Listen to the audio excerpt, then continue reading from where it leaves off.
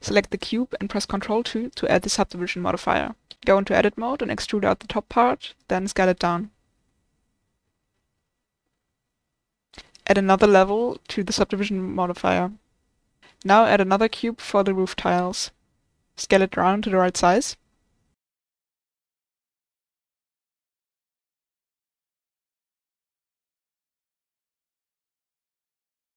And then extrude out the bottom part and angle it.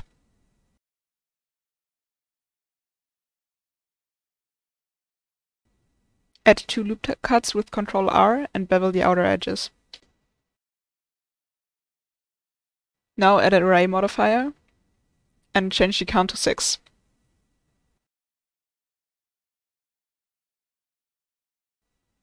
Tap out of edit mode and hit apply. Go back into edit mode and use the knife tool to cut out triangles from the roof tiles. Repeat this with the other tiles in random intervals.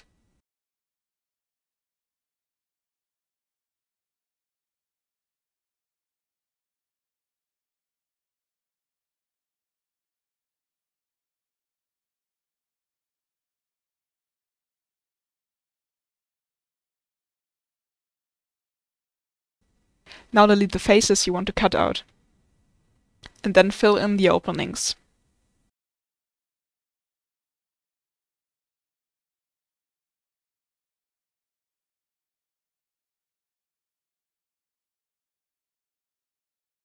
Lastly, you can go into wireframe mode and randomize the distance between the vertices a little bit.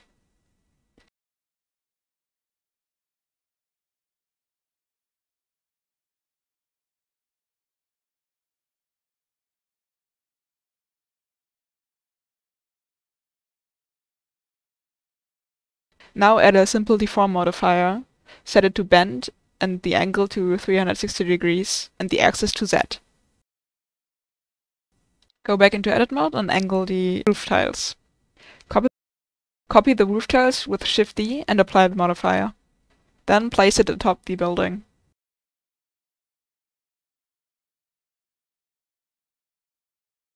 Go back into edit mode of the original roof tile and delete the last two roof tiles. Then apply the modifier again and place it.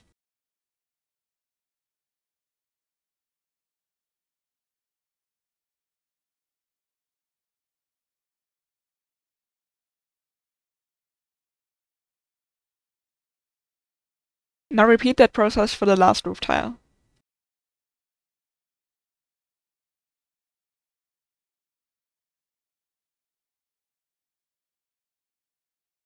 To close up the middle, select all the vertices, press M, and merge them at the center. Now select all three parts of the roof, and press Ctrl J to join them. Then add a bevel modifier to the roof. Now you can right-click on the objects to set the shade to auto smooth. Copy the roof in the building and move it to the side. Now repeat it for the other side.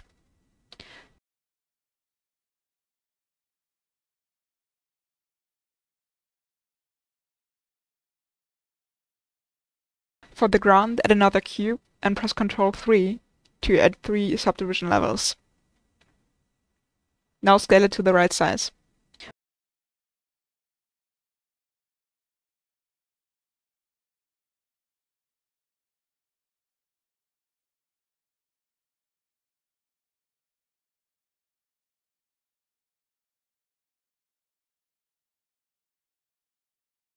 Press 1 to go into front view and edit the circle. In the bottom left corner, change the alignment to view, and then scale down the circle.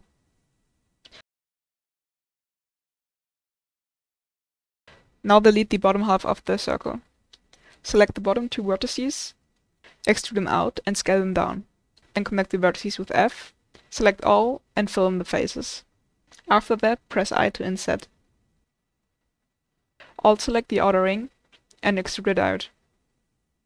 Then select the edges and bevel them. Select the edge on the backside and move it back on the y-axis. Add loop cuts to the bottom of the door frame and then with the knife tool connect the bottom to the top.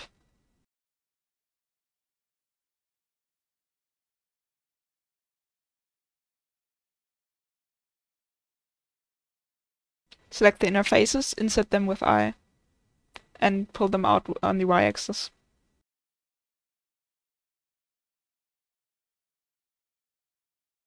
Now go into side view and rotate the door so it doesn't slip through the egg. Now I'll select segments of the arch in random intervals. Extrude them out along the normals, and then bevel them.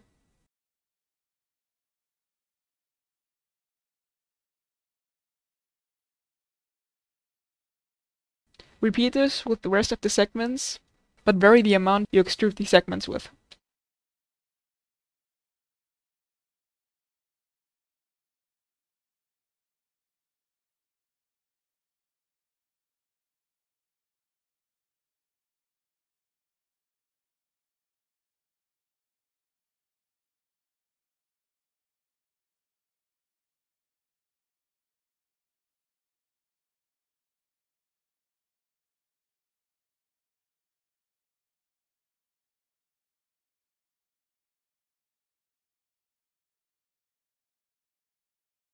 Set the cursor to the left side of the door and add a torus for the doorknob.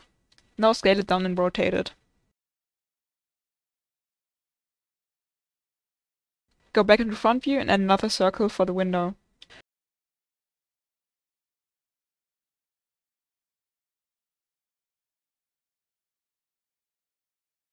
Press E to extrude and then scale it down. Select all and extrude out. Now bevel the edges to round the window.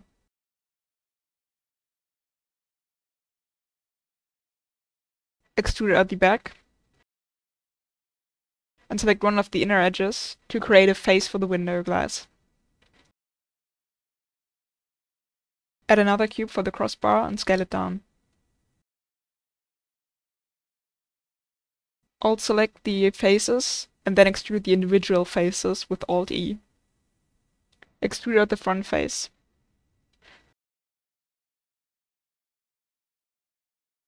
And then copy and place the windows around the house.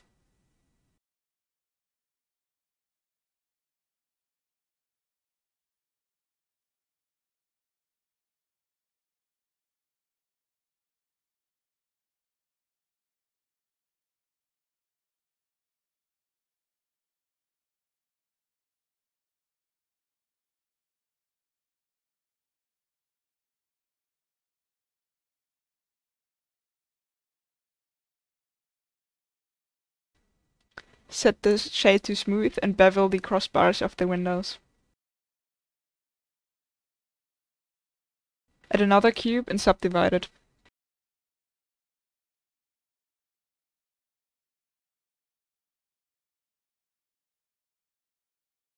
Add an array modifier.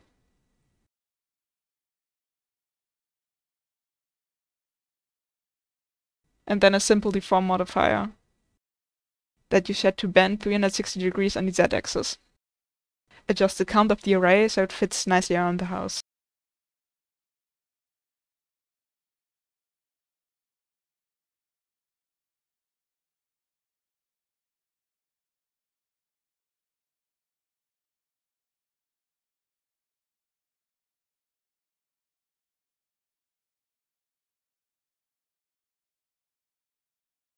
Copy the stone circle for the other two houses.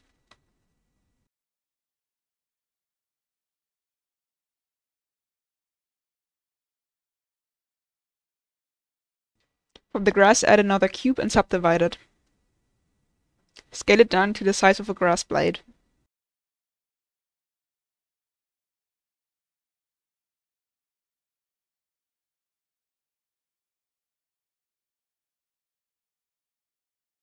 Then add some loop cuts with Ctrl R and scale down the top face.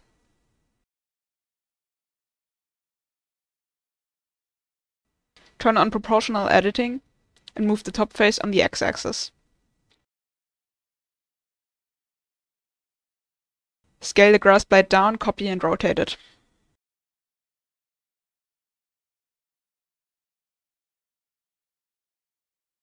Then place it around the ground.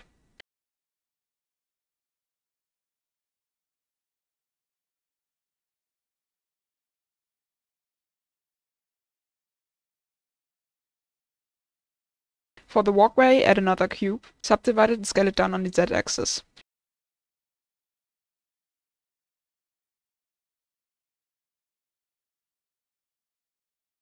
Add some loop cuts, go into wireframe mode, and pull the vertices around to make the shape of a stone tile.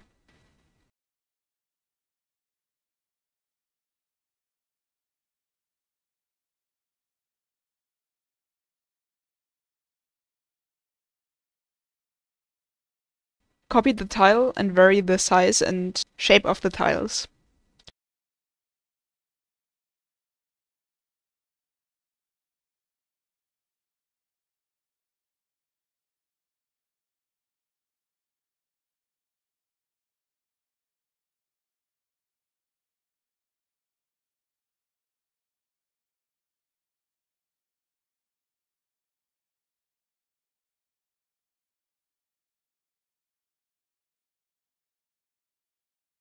Then go into side view and make sure the tiles aren't floating above the ground.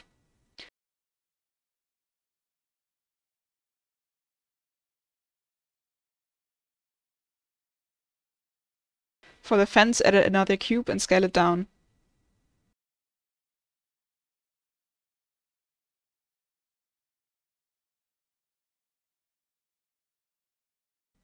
Scale the top face on the y-axis and then extrude out another face and scale it down on the y-axis.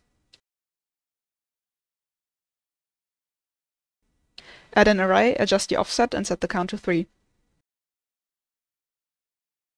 For the crossbar, add another cube and scale it to the right size.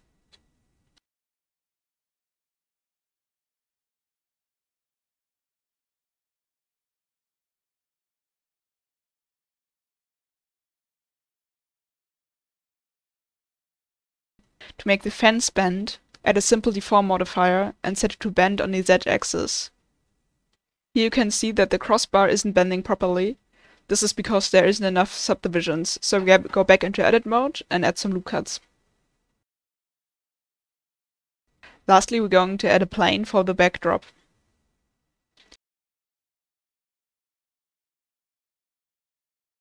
Now you can split the viewport.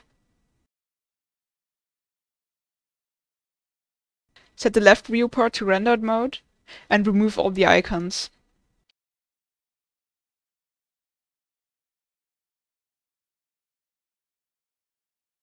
Now set the render engine to the cycles and if you have one, the device to GPU.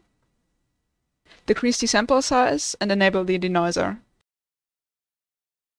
Now you can move the light around and adjust the radius and power so it fits the scene.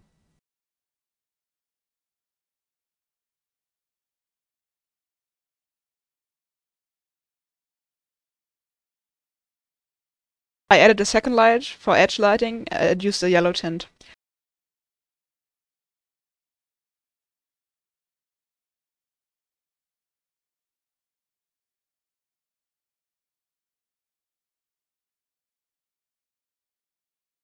For the textures, I'm just going into the Material tab and add a new material for every new color I'm adding. In this case, I'm only adjusting the base color and sometimes the roughness if I want to get rid of some reflections.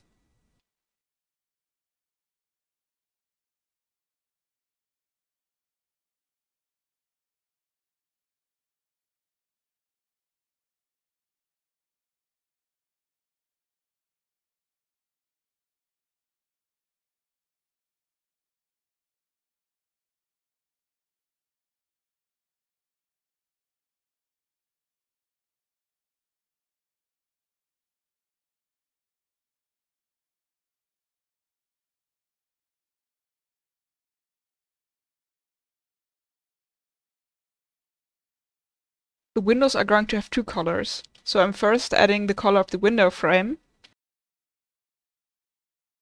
And then press on this plus sign to add a second material.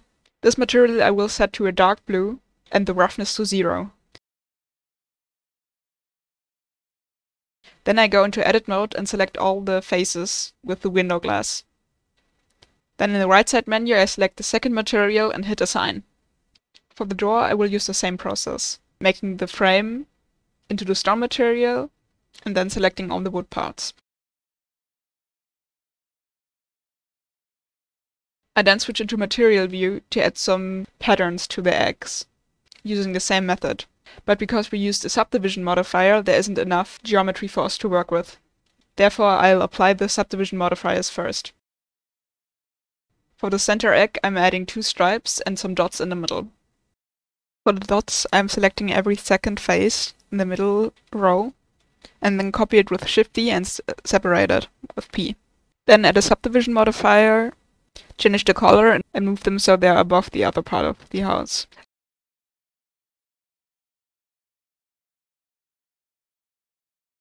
I use the same method to add stripes to the other two eggs.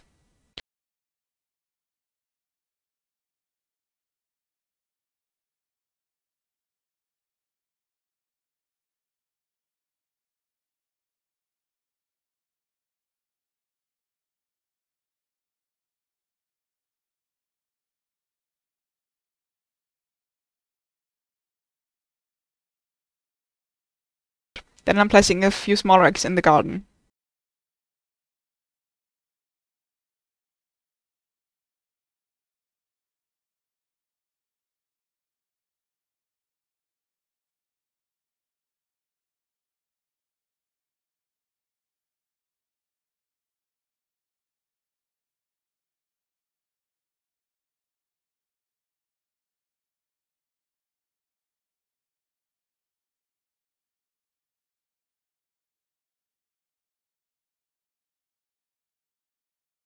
Finally, I'm changing up the colors a bit.